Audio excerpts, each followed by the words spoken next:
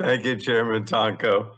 Today, we continue this committee's important work on environmental justice as we examine 11 bills that address the pressing needs of environmental justice communities. And for far too long, low-income communities and communities of color have borne the brunt of air pollution, exposure to contaminated sites, and unsafe water.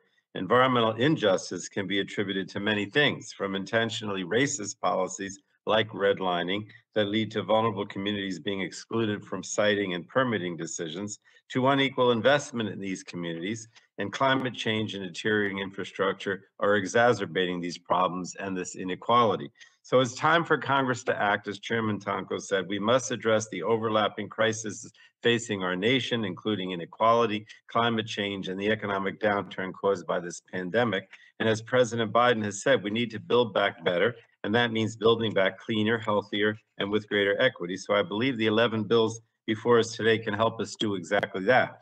One of the bills is H.R. 1512, the Clean Future Act, which I introduced last month with Chairman Tonko and Rush and several other committee members. And the Clean Future Act is a comprehensive and ambitious plan to combat the climate crisis and achieve net zero greenhouse gas pollution by no later than 2050 and environmental justice is a key component of the Clean Future Act and must be a focus of our efforts to address climate change and infrastructure.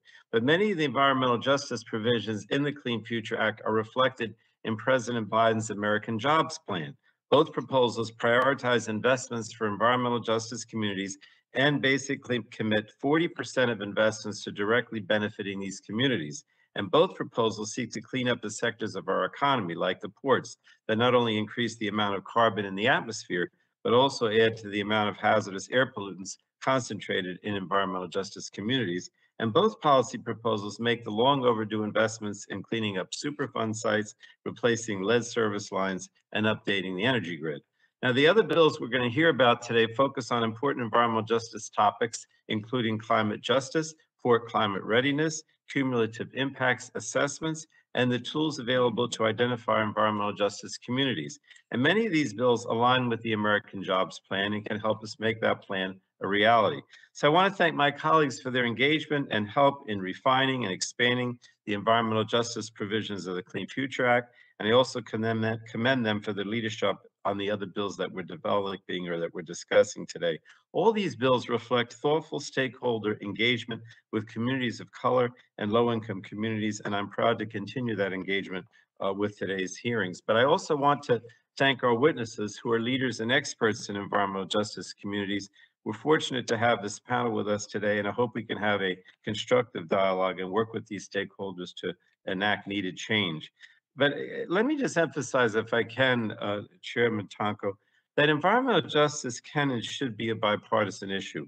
Many of us were excited to pass environmental justice provisions out of the House as part of last year's energy bill. And although we did get about half of that energy bill in the final omnibus, uh, we were disappointed because we couldn't find the bipartisan support we needed to get the environmental justice provisions included in that omnibus bill. So I hope we can find common ground and build on support because I know that these problems that exist in environmental justice communities, you know, are, are throughout the country, not just in in Democratic districts. In fact, I always point out that when we did a brownfields uh, bill, uh, I don't know, 20 years ago now, it was with uh, Congressman Gillmor, and it was with it was when um, um, my former governor uh, Whitman was uh, the EPA administrator and and uh, and and George Bush was president. So there's no reason that this can't be bipartisan. And and also this the notion of building back better does require bold action and a focus on the communities most in need. So I think the bills before us today are a good start. I thank uh, Chairman Tonko for calling this important hearing and, and look forward to working together to see environmental justice provisions enacted into law. And with that, I'll yield back. Thank you, Chairman.